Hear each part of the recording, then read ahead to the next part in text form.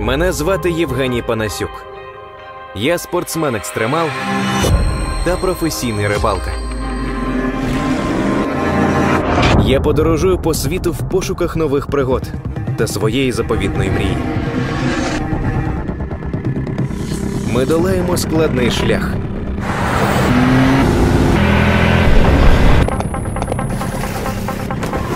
Будь-яке досягнення мети вимагає наполегливої роботи, і настає момент, коли потрібно зробити свій вибір.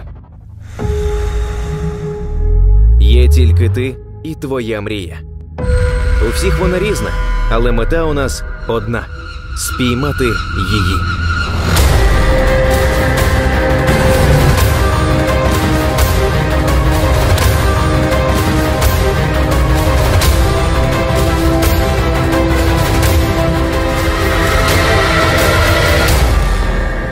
Риболов Англер. Друзья, всем привет! Меня зовут Женя Панасюк и в этот раз в поисках новых рыболовных приключений я никуда не отправляюсь. Я буду дома, в родных Карпатах и покажу вам, почему же я их так сильно люблю.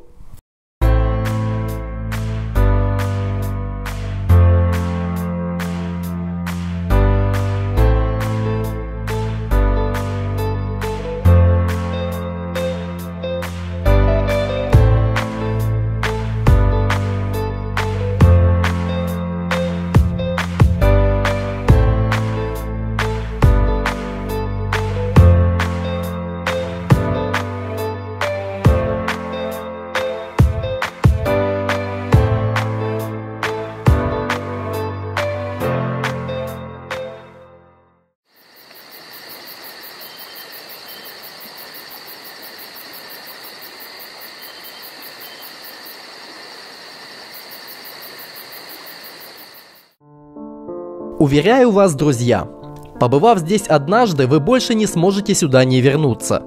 Я езжу сюда каждый год. И еще не было ни одной рыбалки, на которой я бы не вспомнил эти места, эту природу и незабываемые реки.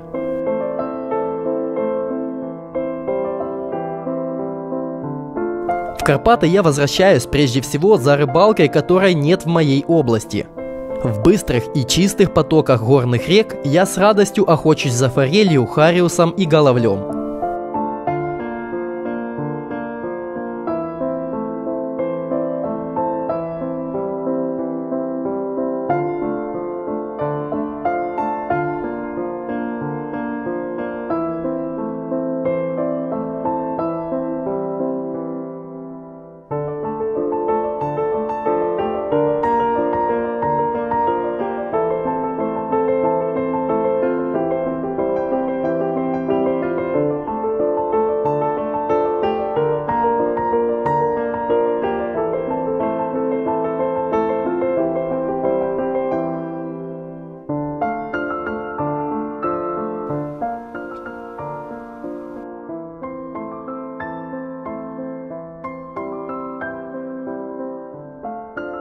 Здесь в горах время как будто идет совершенно другим темпом, и не спеша прогуливаясь со спиннингом вдоль реки, я забываю о любых проблемах и мотивирую себя на новые проекты и путешествия.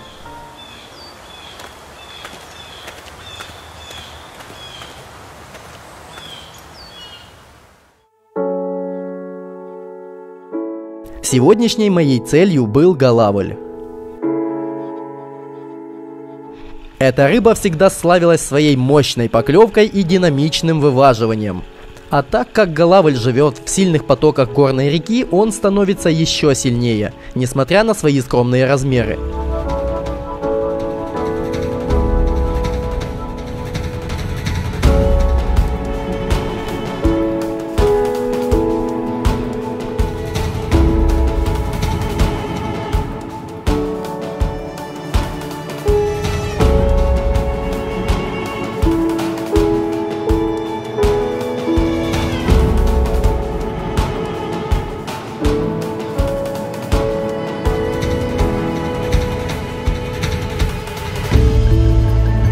Размер рыбы был совсем скромный, но тем не менее она была достаточно бойкая и дарила мне эмоции. Все время я сталкивался с одной проблемой. Я делал проводку против течения. Именно после этой рыбалки я понял, что это была моя грубейшая ошибка потому что легкие приманки течение выталкивало на поверхность воды. А когда вы делаете проводку upstream, то есть вверх по течению, ваша приманка может заглубляться на более рабочую глубину и этим же приносить больше результата.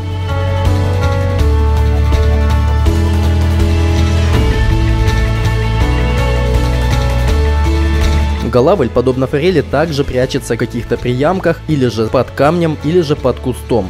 Поэтому техника и точность заброса играют очень важную роль. Чем дальше я отходил от цивилизации, тем больше становился размер рыбы.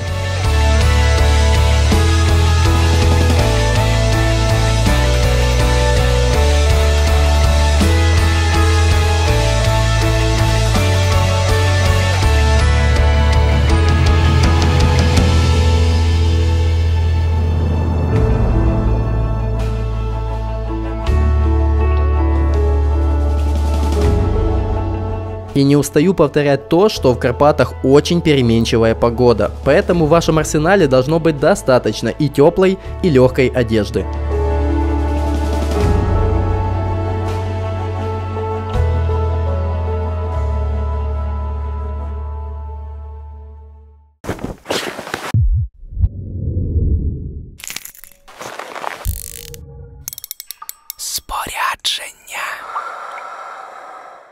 Итак, друзья, идеальным комплектом для ловли головля я считаю Ultralight Light. Удилище с тестом до 8 до 12 грамм и длиной где-то около 2 метров, так как зачастую э, рыбалка происходит у нас в труднодоступных местах. Катушка должна быть одновременно и легкая, и с хорошей намоткой тонкого шнура.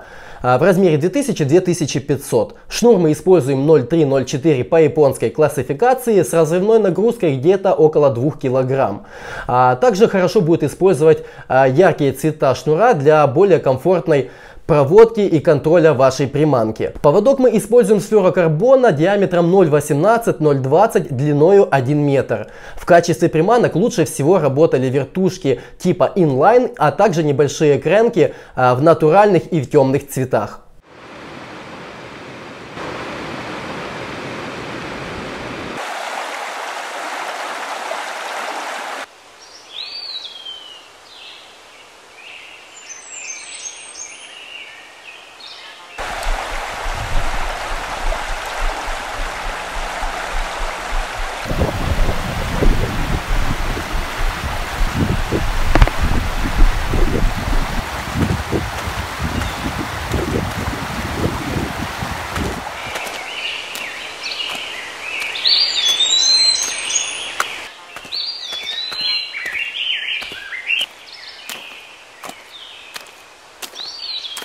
Ближе к обеду все признаки цивилизации исчезли.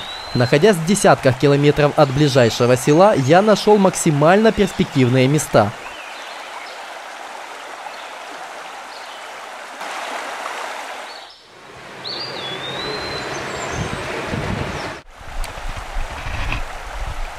Я нашел место, где основная быстрая река соединялась с тонким рукавом спокойного течения, в которой и позабивало течение много мусора, веток и остальных укрытий, которыми прятался Галавль. Поэтому я достаточно много времени пределил именно этому участку. Это хорошее место для ловли головля.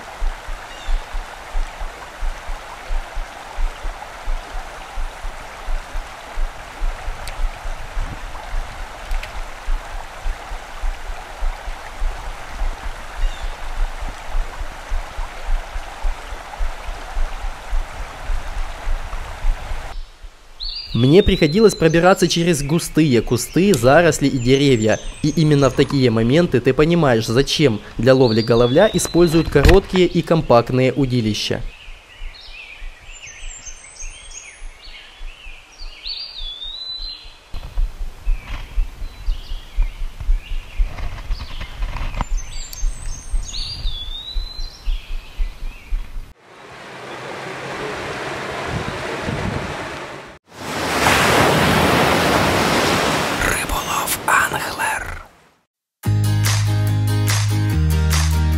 Историческое и знаменитое, пожалуй, на всю Украину, очень мистическое место озеро Сеневир.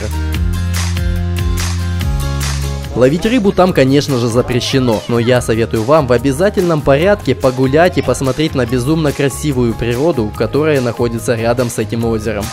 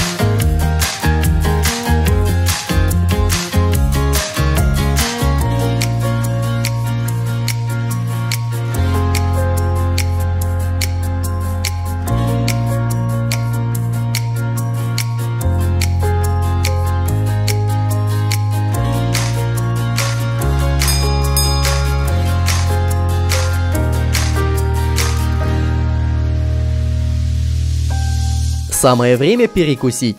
И цены меня здесь очень обрадовали. Я заказал себе блинчики со свежесобранными ягодами и стаканчик свежего домашнего узвара. Зачастую большинство из вас приезжает и будет приезжать в Карпаты не только с целью порыбачить, а, например, в отпуск, на выходные, каникулы с семьей, друзьями. И, конечно же, не всем будет интересно или физически легко ходить весь день вдоль реки, оббивая ноги по камням, пробираясь среди множества растений и препятствий. Поверьте мне, помимо рыбалки здесь есть масса интересных развлечений, которые не оставят равнодушным никого. Здесь можно подняться в горы, насобирать ягод или грибов, перепробовать все местные вкусные блюда и напитки, или устроить пикник на самой вершине горы. Да и просто прогуляться по лесу с невероятно чистым воздухом.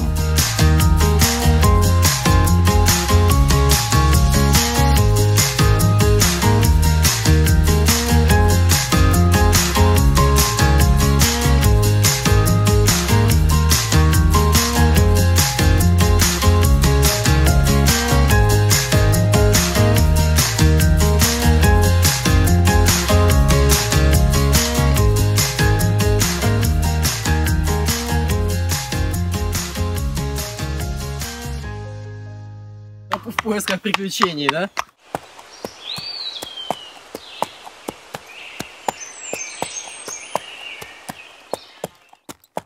Молодець, дякую тобі велике. І вам дякую. Дякую дуже. Гарного вам дня.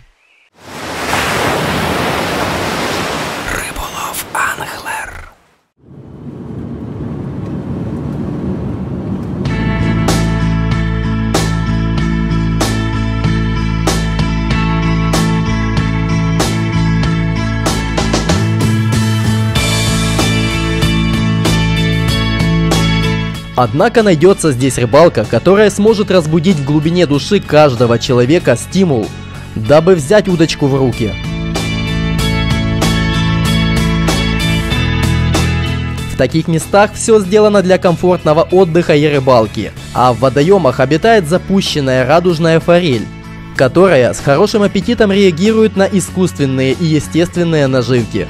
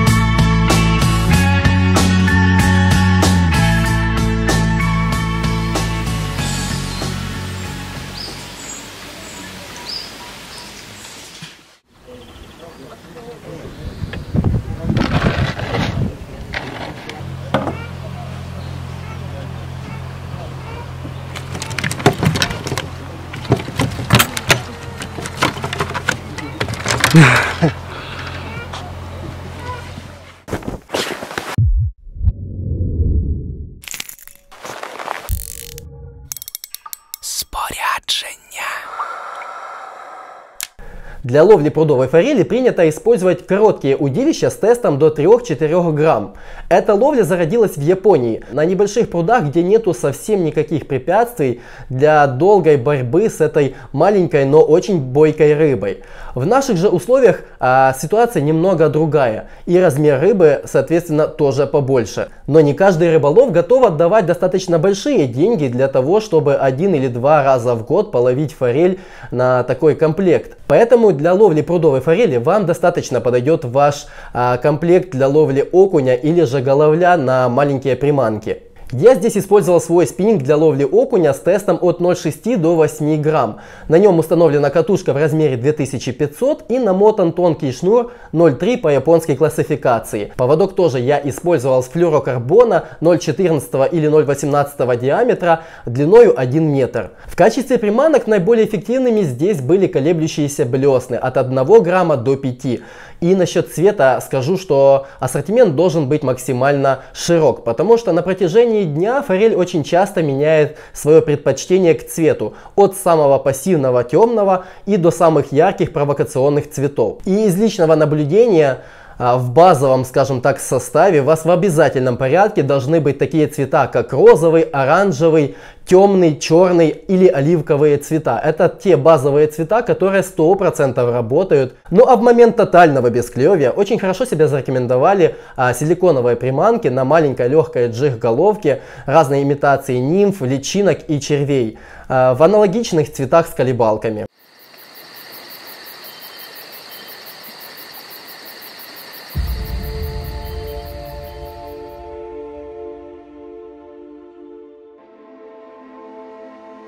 Поскольку я ловил в основном на колеблющиеся блесны, с проводкой здесь ничего сложного нет. После заброса дайте пару секунд, чтобы ваша приманка набрала достаточную глубину и делайте плавную равномерную проводку. Также был такой период, что на ближней дистанции рыба совсем не клевала, и очень важен был дальний заброс.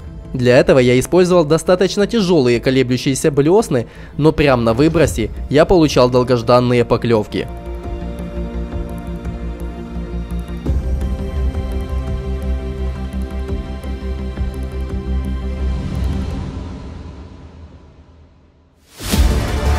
Эта рыбалка очень азартная, а рыба очень бойкая при вываживании.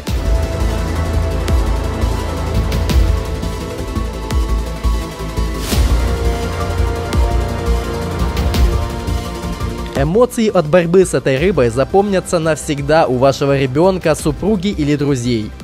Ну и что может быть лучше, чем потом вместе приготовить свежевыловленный трофей на гриле, находясь на ухоженном водоеме у самых гор?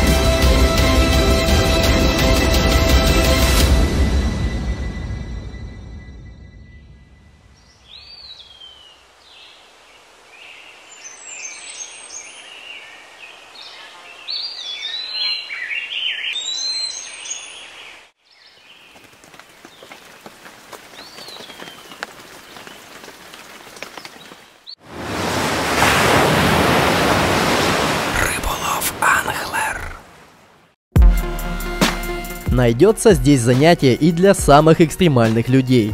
Ощутить свободу полета над горами и могучими лесами. Это не может сравниться ни с чем. Это стоит попробовать хотя бы раз в жизни.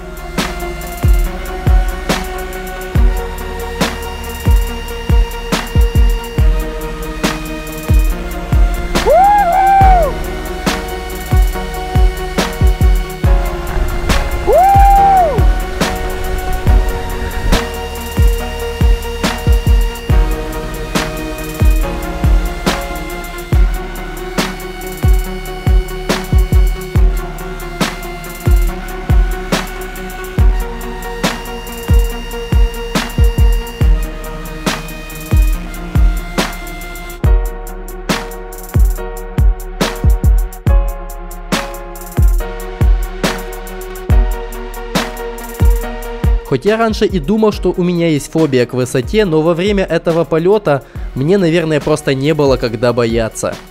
Это чувство свободного полета над такой красотой, это просто не передать словами.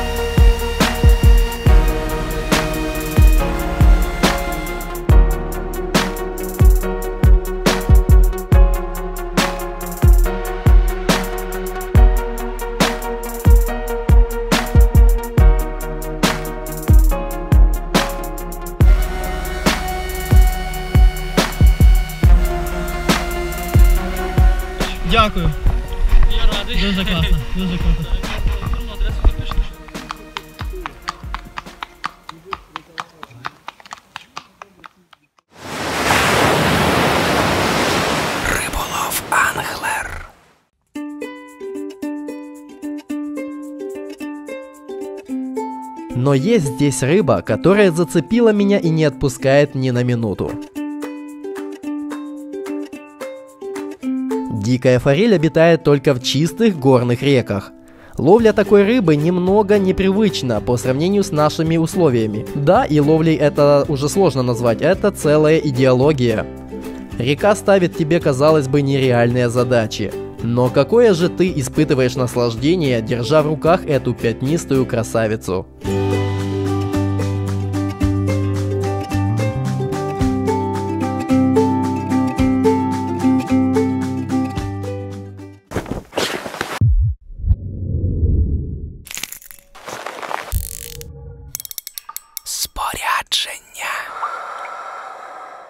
Случае с ловлей форели в дикой реке мы используем удилище, аналогичное тем, которые мы используем для ловли головля.